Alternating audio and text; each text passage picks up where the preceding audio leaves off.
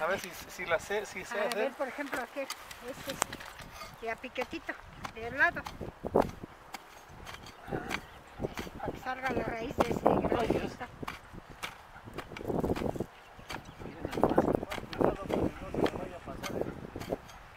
a el- este. no, el palo. Pues trae este. Es que yo, el palo y me pica. Ah, ya. Sí, porque como está filoso se puede usted lastimar. A ver, doña. Ofelia. Ya vio que sí es. Miren amigos, para que vean a mi amiga Ofelia. A ver, señora Ofelia, cómo le, cómo le trabaja. Aquí, mire. ¿Y a los cuántos años empezó a trabajar, doña Ofelia?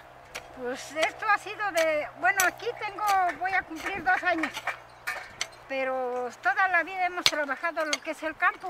¿Cuántos años tiene, señora Ofelia, ¿De qué? de edad? 72. 72 años, chicos. Para que vean aquí con ese solazo. ¿Y de qué horas a qué horas trabaja, doña Ofelia? Nos bajamos como a las 3, 3 y media, ¿Y a qué horas empieza? a las 9. 9 de la mañana. ¿Y para comer? Pues nos dan una hora, por ejemplo, agarramos la de 9 a 10 para desayunar.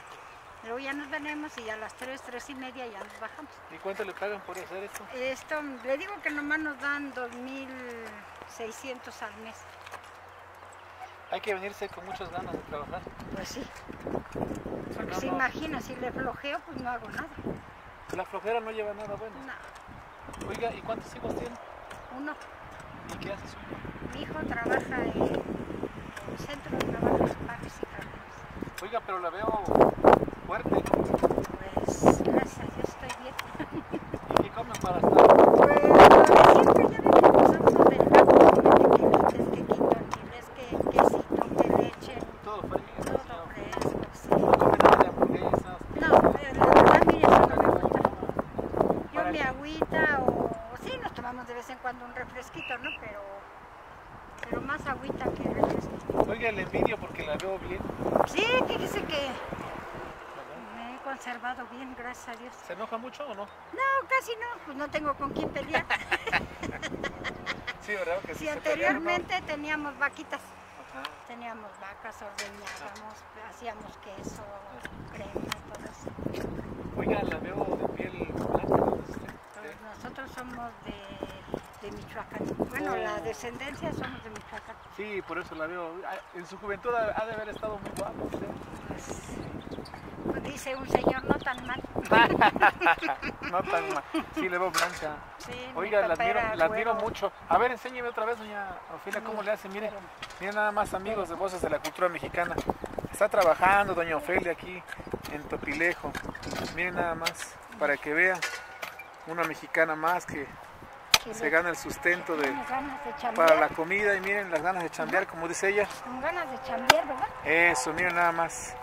Ese instrumento que está usando, ¿cómo se llama, señora Este se llama asadón. Asadón. Ajá.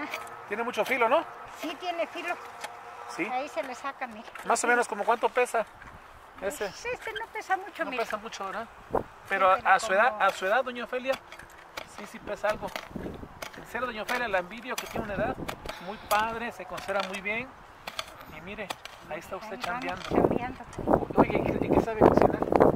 Uy, pues muchas cosas. ¿Cómo qué? Pues mire, por ejemplo, ¿Cuándo me, cuándo me invita a su casa para echarme un, un taquito? un día que quiera entre semana. ¿Y, y qué, Pero- ¿Y qué puedo preparar? Mire, yo preparo unos frijolitos Uh, ¿Hacia la, la olla? en la olla, en la no, olla señora con el pasote y nopalitos. Híjoles. Este, le preparo unos, este, Oiga, ¿y Sí. sabrá, sabrá hacer las enchiladas para que caiga a su casa? con Híjoles. Molito rojo. Uy, uy, uy. El que preparo en un la cafecito casa, así. un café de olla, Híjoles. bien rico. ¿Y qué más puede hacer usted? Pues mire, yo les preparo unos este, chilitos rellenos así con carnita, con harto Uh. eh, pasote y tomate. y Como para chuparse los dedos. así se los, les digo a los muchachos, chupan el dedo gordo del pie. Oiga, tiene buen sentido del humor usted. pues, ¿para qué nos enojamos, no? Sí. Si no llegamos a nada. No, la verdad que. Oiga, ¿y ese sombrero de dónde lo trae? Este me lo compré una vez en Morelos. Nomás que ya sí songo, miren, Ah, ya sí songo. oiga, ¿Y esas canas qué significan? Pues Cabello que ya blanco. estoy viejita, ¿no? No, pero son esas canitas, me imagino que son de mucha sabiduría, mucha experiencia. ¿Cree? Yo digo. No, su- a ver, muéstrame su cabello blanco. Mira nada más, amigos de Voz de la Cultura. La primera vez que entrevisto a una persona y que tenga su cabello blanco, ¿Ah, sí? blanco, blanco. Me- ¿Qué creo que me dicen? Que tengo cabeza de cebolla. No, pero, pero con la cebolla con una envidiable, ¿eh? No ¿Verdad? cualquiera llega a esta edad que usted tiene. Y chambeando nada más. Pues sí, mire, un rato. Qué padre, la felicidad. Miren, voy a tocar. ¿eh? Ah, Miren, Ahí miren, todo sudoso, Miren, pero ahí no, se no, no, no, la verdad, miren qué cabello tan bonito, mucha Salud, experiencia. salud. Y miren, aquí estamos con Doña ahí sí. no. ¿Y usted viene que del centro? Venimos aquí de la, de la capital. Ay, qué No, es bueno. que me gusta a mí entrevistar a conocer personas como usted que Ay, salud, me llaman salud. la atención. Cómo chambeando a esa edad. Pues sí. Pues aquí está un claro ejemplo, amigos, Ahora para ya que no vean. hay, este, ya no hay... Bueno, ¿qué creen que la juventud está tan desenfrenada? Sí, Que bueno, ya no quiere trabajar. lo quiere todo fácil. Sí, o son tentones o ya no más ¿Y qué le recomendaría a los jóvenes? Pues yo a los jóvenes de hoy les recomendaría que estudien, que se preparen, que, que, pues, que hagan algo provechoso, ¿no? ¿No? Sí, porque luego caen en cada cosa, cada locura que hacen. cosa que ya ve que pobrecitos, ¿no? Luego van mal, ¿no? Yo, pues, yo prepararse, ¿no? Sí. Pues amigos del Voces de la Cultura Mexicana, estamos con Doña Ofelia, una tarde muy padre. Hace muy, el clima está rico. Ay, sí, está bien sabroso, está el vientecito bien rico. Sí, me acuerdo. Pero usted con sus ganas de trabajar, Ah, esa- salen las ganas, ¿no? Ah, pues sí, porque se imagina, ¿para qué le echamos la flojera? Oiga, a ver si uno, un día de esto lo voy a traer a su casa y... Sí, Para que te guste, mire, este... Miren, pues aquí estamos, ¿eh? Para que vean, amigos de Voces de la Cultura Mexicana con Doña Ofelia aquí en Topilejo.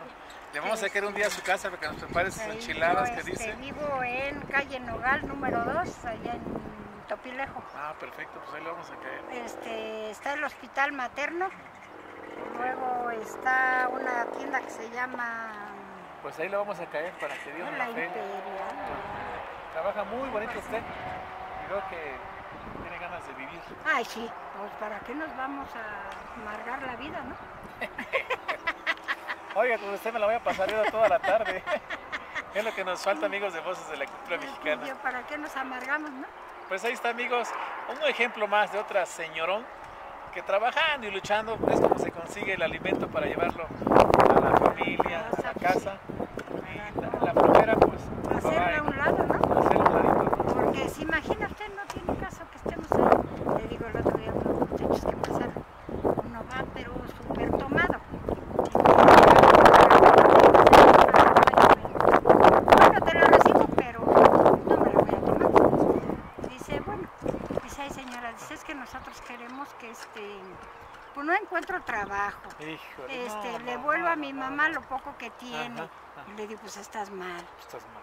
Le digo, en vez de que tú trabajes, mantengas a tu mamá, le des lo que necesita. Lo regañó en pocas palabras. Pues sí, ¿no? Es que así debe ser. Le digo, oye, ¿qué te pasa? Sí. Le digo, no, Miren, amigos de de Mexicana, qué manos trabajadoras, ¿eh? todas llenas son de tierra. Son manos trabajadoras, luchonas De en la vida. Pues para que se den una, una idea, amigos, de que hay, que hay que echarle ganas en esta vida y hay que... No hay, que... dejar a un lado la droga, la- el vicio, todo, ¿no? Porque Pues ahí está. Ahí está, amigos de Voz de la Cultura Mexicana, nos despedimos con la señora Ofelia, Que les vaya bien. que se ponga su sombrero, se lo vemos, vamos a ponerle su sombrerito. Poner Y miren, amigos, una...